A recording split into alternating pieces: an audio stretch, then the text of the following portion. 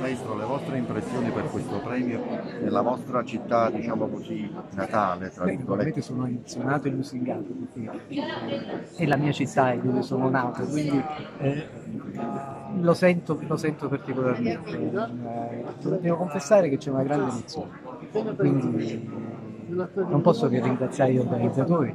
Oltretutto poi io suonerò un pezzo a cui sono particolarmente legato perché è un pezzo che è stato scritto da un compositore norvegese, Edvard Grieg, che l'ha Ah. scritto pensando ad una notte estiva a Sorrento.